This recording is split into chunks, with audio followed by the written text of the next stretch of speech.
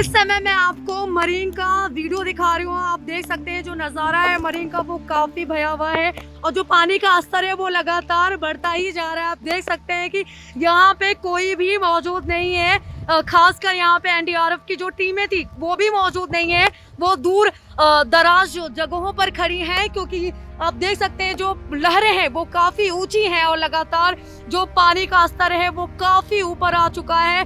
तो यही वजह है कि जो तोकते तूफ़ान है, वो कहीं ना कहीं एक बार फिर मुंबई में कोहराम मचा सकता है, जिससे निपटने के लिए अभी से जो कदम है, जो सख्त कदम है, वो उठाने की ज़रूरत है। आप यहाँ का नज़ारा देख सकते हैं और यहाँ पे कुछ पेड़ हैं जो क्षतिग्रस्त हो चुके हैं गिर चुके हैं उसको भी नहीं उठाया गया है लेकिन लगातार लोगों को अलर्ट किया जा रहा है लोगों को जानकारी दी जा रही है कि अगर ज़रूरत ना हो तो आप घर से बाहर ना निकले। आप पानी का स्तर देख सकते हैं कि किस तरह जो पानी का स्तर है वो काफ़ी ऊपर है।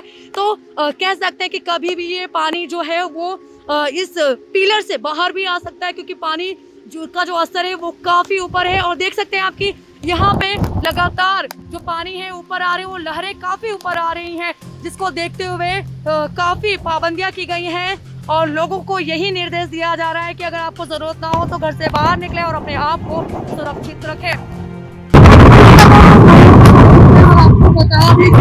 लगातार जो चक्रवात का है वो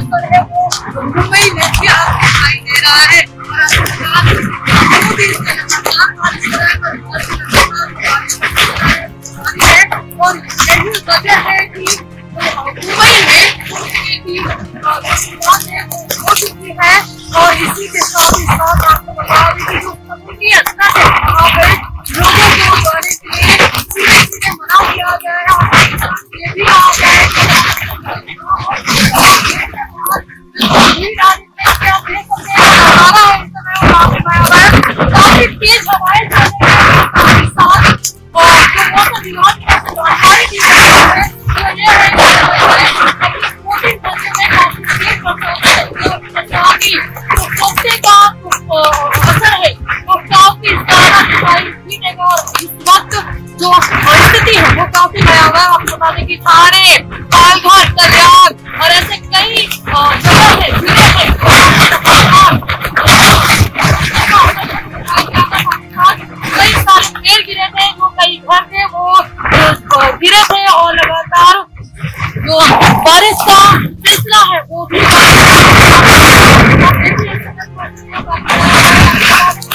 इस समय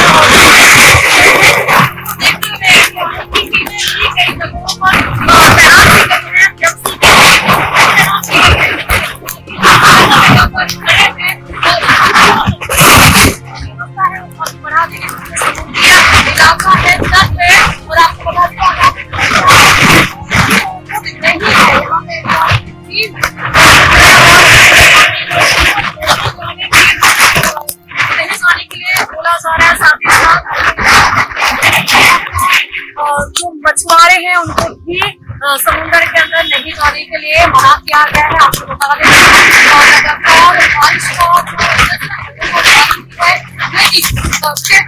का जो असर है, वो